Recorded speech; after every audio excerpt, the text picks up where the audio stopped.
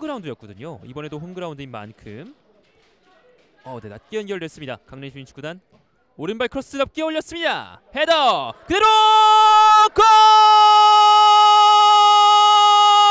강릉 시민 축구단 전반 2분 만에 1대 0으로 앞서갑니다. 네, 전반 시작하자마자 벌써 한 골이 터졌습니다. 다시 한번 보시죠. 크로스가 낮게 올린 공에서 다시 한번 크로스 오른발 그대로 깔끔하게 header로 마무리 지었습니다.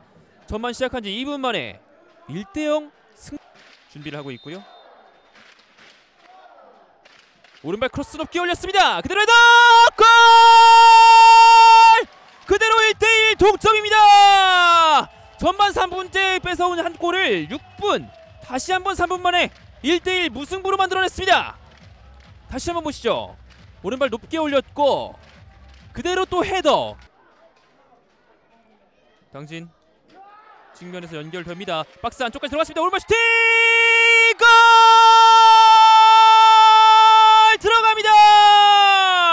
후반 64분 2대1 만들어내고 있습니다. 당진 시민 축구단. 네, 다시 한번 보시죠. 박스 안쪽에서 오른발 굴절되면서 그대로 골망을 갈랐습니다. 어, 어우 역습 끊기지 않았습니다. 강릉 달려갑니다. 박스 근처까지. 박스 측면에서 오른발 연결됩니다. 골! 2대2 동점! 강릉 시민 축구단 골을 만들어냈습니다. 네, 지금은 주니오 선수였습니다. 어 역습 기회 끝까지 노려보면서 주니어